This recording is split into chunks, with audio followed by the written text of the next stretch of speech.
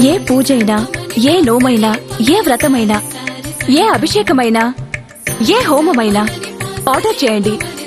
అందుకు అవసరమైన పూజా సామాగ్రిని డోర్ డెలివరీగా పొందండి.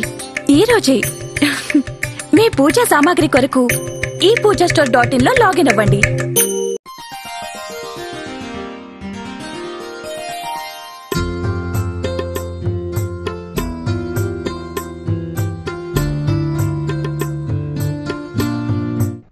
ధనుసు రాశి వారికి ఆర్థికంగా అనుకూలంగా ఉంది.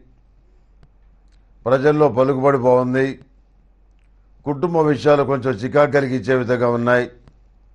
నమ్మిన స్నేహితులు బంధువులు కుటుంబ విషయాల్లో ఎక్కువగా జోక్యం చేసుకొని ఇబ్బందికరమైన వాతావరణం కలిగించడం మీ మనోవేదన కారణమవుతుంది.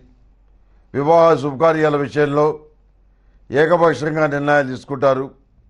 అన్ని విషయాలు మీరే ఎంక్వైరీ చేసి బాగుందని చెప్పి తేలిన తర్వాత మీరు భావించాక ఆ సంబంధాలని నిశ్చయం చేసుకుంటారు. కొన్ని తేదీలు కూడా నిర్ణయించుకుంటారు. విలువైనటువంటి స్థిరాస్తులు కొనుగోలు చేయగలుగుతారు.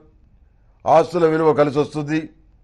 కొనుగోలు చేసిన ఆస్తుల విలువ నాలుగు రెట్లు పెరగటం మీ మనోవేదన కారణమవు నాలుగు రెట్లు పెరగటం మీ మానసికమైన సంతోషానికి కారణమవుతుంది.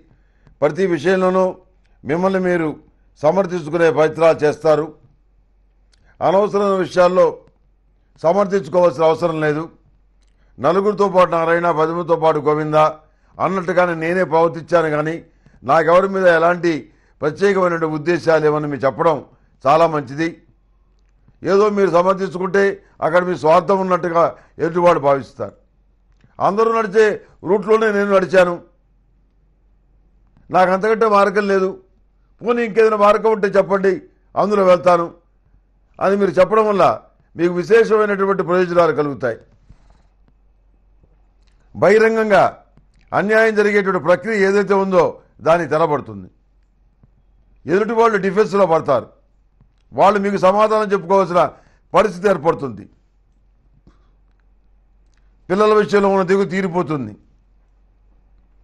దూర ప్రాంతాల్లో ఉన్నటువంటి బంధువులు పిల్లలు అందరూ క్షేమంగా ఉన్నారని వాళ్ళ కుటుంబాలు క్షేమంగా ఉన్నాయని వార్తలు అందుతాయి.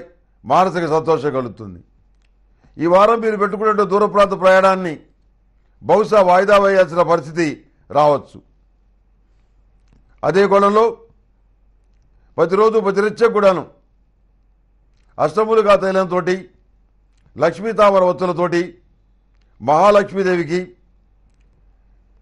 దీపారాధన చేయటం చెప్పదగినటువంటి సూచన. మనం అనేక చోట్లకు వెళ్తుంటాం. అనేక మందితో మాట్లాడుతుంటాం. ఎంతోమంది దృష్టి మన మీద ఉంటుంది. ఆ నరదృష్టి మనకు సోకుండా ఉండాలంటే అద్భుతమైనటువంటి నాగశుద్ధులాన్ని ధరించండి. ఆ నాగసింధూరం పొడిగా ధరించకూడదు. రెండు చుక్కలు నీళ్ళు దాంట్లో వేసుకొని ఆ నాగసింధూరాన్ని ఇలా పెట్టుకోవాలి. అప్పుడు ఎలాంటి దుష్టశక్తి కలిగినటువంటి కళ్ళు మీ మీద పడ్డా కానీ మీకు ఎలాంటి ఎఫెక్ట్ కాదు. అదే కోణంలో రహస్యంగా స్థిరాస్తులు కొనుగోలు చేస్తారు. రహస్యంగా ఖరీదైనటువంటి వస్త్రాల్ని ఆభరణాలని కొనుగోలు చేస్తారు. మీకు ఇష్టమైన వాళ్ళకి బహుమతిగా ఇస్తారు. మన సంతోషం కలుగుతుంది. రాజకీయ రంగం పైన దృష్టి సారిస్తారు. కానీ జన్మరాశిలో ఏలినాడు నడుస్తోంది. జన్మరాశిలో శనివుడు నాడు ఎనిమిది శనివారాలు శనికి తైలాభిషేకం చేయాలి. మహాశివరాత్రి నాడు మార్చి నాలుగో తేదీన అఘోర పాశుపత హోమం చేయాలి. దీనివల్ల అద్భుతమైన ఫలితాలు ఉంటాయి